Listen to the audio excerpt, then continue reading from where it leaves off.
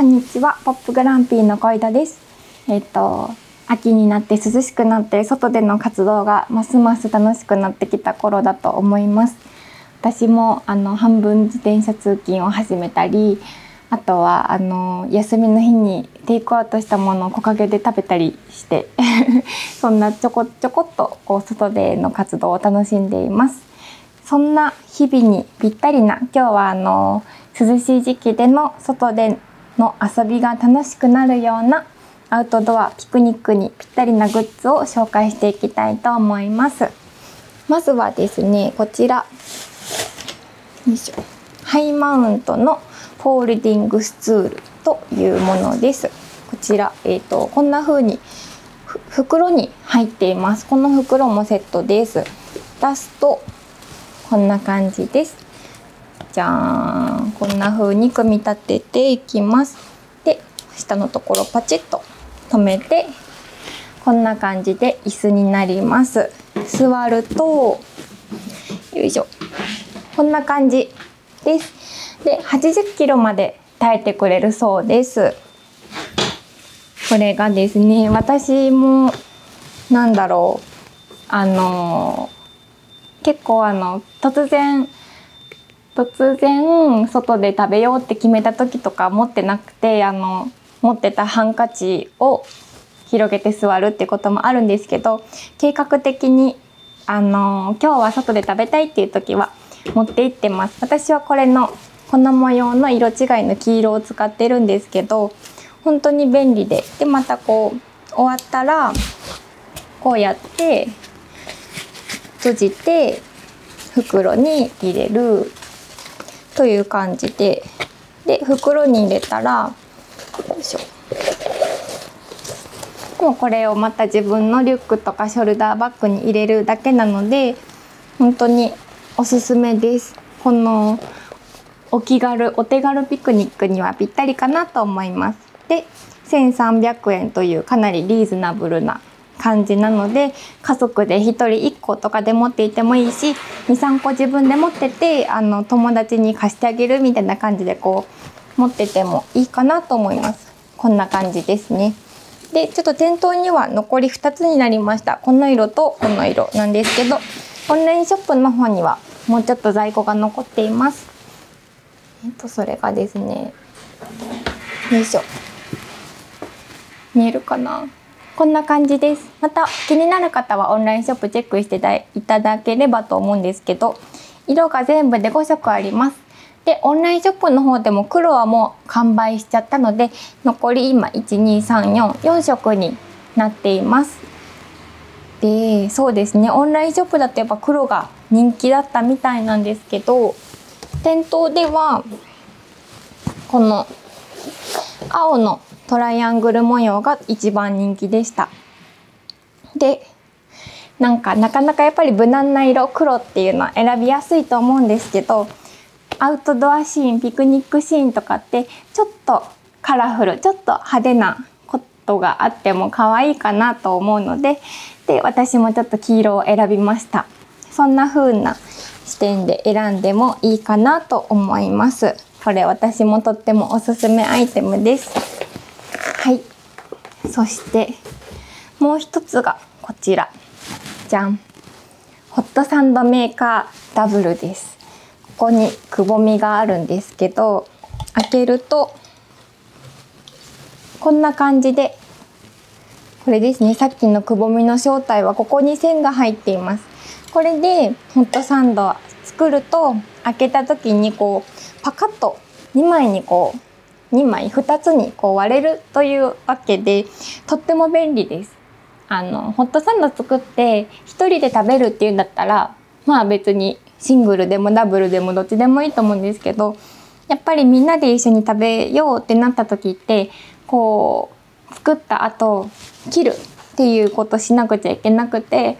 かまた包丁とまな板を持っていかなきゃいけなくてまあ、ちょっと面倒くさかったり洗い物も増えるしってなるんですけどこれがあれば1個作ってこうやって開けたら2つに割れるので一気にこう2人分作れる。でやっぱり味も変えたりしながらちょっとずつ食べるのが楽しいと思うのでこれはかなりおすすめかなと思います。ホットサンドは皆さんどんな具材を入れてますか？私たちがやっぱり多いのはですねまずあチューブのバターこれとっても重宝しています。チューブのバターをチューッとこう塗ってで食パン入れてでコンビニとかスーパーにあるあのカット野菜細かく切ってあるくれてるやつですね。あれを入れてとろけるチーズスライスチーズをのせてでちょっと美味しいいつもよりもちょっとリッチなハムとかをこう並べてでまたパンとかチーズでもう一回やって蓋をしてやるっていうのが割と万人受けですね。であとはちょっとデザート部門でチョコバナナ。これはもりもりがおすすめです。またさっきみたいにチューブのバターチューってやってパンをしてでえっ、ー、とバナナをこうふんだんに入れてでチョコバーってチョコもこんな感じです。あのこれまたチューブシロップのこうチョコチューってやってでまたバナナふんだんにこれでもかってぐらいやってまたチョコバーってやって蓋をして開けるとかそんなことやったりあとはコンビニで肉まんを挟むとかいろんなことをしました。でまだやってみたいのがたくさんあってやっぱりホットサンドホットサンドのレシピの本もいっぱいあるんですけどホットサンドだけじゃなくて普通のサンドイッチのレシピの本とかって結構多いですよね。そんなのを見て参考にしてもいいかもしれないです。本当に多分レシピは無限大にあると思うので、あのぜひ面白いのがあったら教えてほしいです。はい、私もまだまだいろんな味を食べてみたいなと思います。がホットサンドメーカーダブルでしたさてあとはですねコーヒーを飲んだりこういろいろ楽しめると思うんですけどあコーヒーミルも入ってます。これはちょっと店頭だけに置いてます。でコーヒー飲んで とかこんな感じのものをたくさん入れていた。こちら前ちょっとバスケットをいろいろ紹介してバスケット使うかどうかみたいな動画グランピーの方に載ってるんですけどの時にも、えーと、紹介したんですけどこのピーター・ボロのバスケットこれもとってもあのおすすめです私はピクニックの時に重宝していますなぜかというとこれベルトでハンドルのとこに巻くんですけどこんな感じでベルトがこうすぐに取れるのでハンドルに巻いてつけるっていうので取り外しがすごい簡単です。でこれ例えば自転車今までこういろいろ入れてたんですけど入れて走るでピクニックの場所に着いたらバスケット外して置いて今みたいにこんな紙を出していくっていうのができるのでとってもおすすめです。だいたいリュックに入れたりしていくこともあるんですけどカバンとか布物置いちゃうと結構バサーってなって見えちゃうんですね。でこのバスケットがあるともう片付けも楽々です。こんな感じで。片付けが楽々。で取り出すのも楽々。っていうのでちょっと場所をきれいに使うっていうのでもかなりいいかなと思います。で